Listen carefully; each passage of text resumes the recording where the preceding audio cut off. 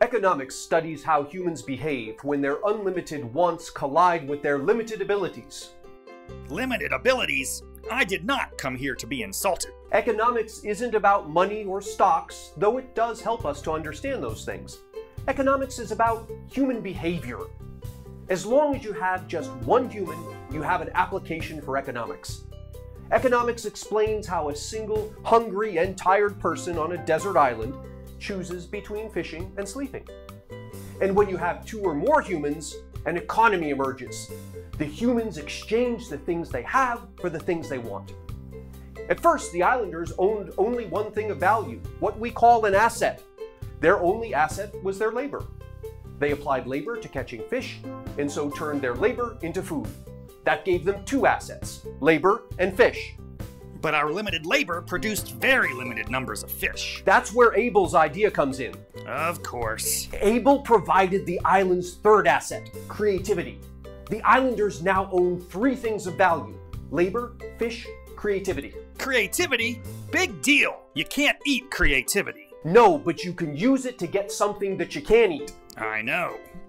Able combined his labor and creativity and produced a net. The net was the island's fourth asset labor, fish, creativity, and now a net. The net is a new type of asset that we call capital. Capital is an asset that helps you to obtain other assets. Able's creativity helped him obtain a net. Is his creativity capital? In a sense, it is. It's what we call human capital. Able's creativity is part of Able, only he can use it. But Able's net is different. Anyone can use Able's net. The net is physical capital, or just capital for short. Able went hungry for a day making that thing. If it hadn't worked, he'd have nothing but an empty stomach. That's what we call risk. It's what I call tragedy. People usually don't like to take risks, but they will if they judge that there's a potential payoff, like more fish, that's worth the risk. Our desires were still unlimited, but our abilities were less limited than they had been. Plus, catching fish with a net requires a lot less labor. Able's net is physical capital. By itself, it can't catch fish, so it isn't like labor.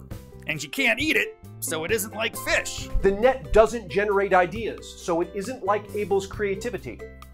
Every time someone decides to expend assets on creating capital rather than on consuming, it's a risk. The risk is that the capital won't be as useful as they'd hoped, and so they would have wasted their assets producing something that didn't benefit them. You won't see me taking risks like that, no sir. Risks are scary, and if they don't pay off, they can be extremely costly. But if they do pay off, you end up better off than you were before. Your abilities become a little less limited, and you get more of what you want. Risk is the price of improving your life.